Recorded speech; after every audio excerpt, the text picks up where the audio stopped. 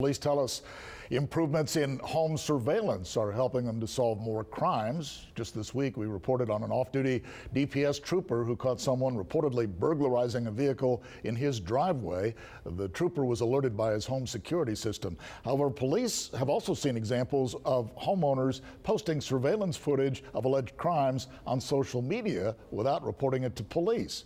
Our Madeline Dart reports police are now trying to stop that particular trend.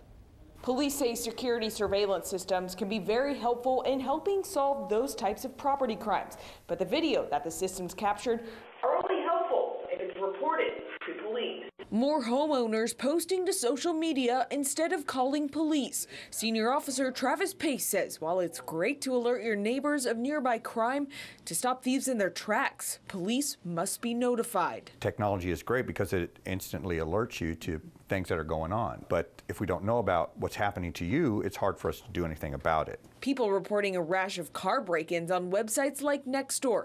Pace urges residents to put preventative measures in place. And if you have a security system, learn how to use it. We want to do what we can to help you, but you have to help us help you, and that's by good quality video, being able to download it, not leaving stuff in your car, locking your vehicle. Pace says by reporting property crime and providing them with video, CCPD can take action. To be able to go, okay, now we need to emphasize patrol in this particular area where the beat officers know that hey, we're we're having a, uh, a rash of crimes in this neighborhood, so we can strategize to what we need to do in order to make a difference in that neighborhood.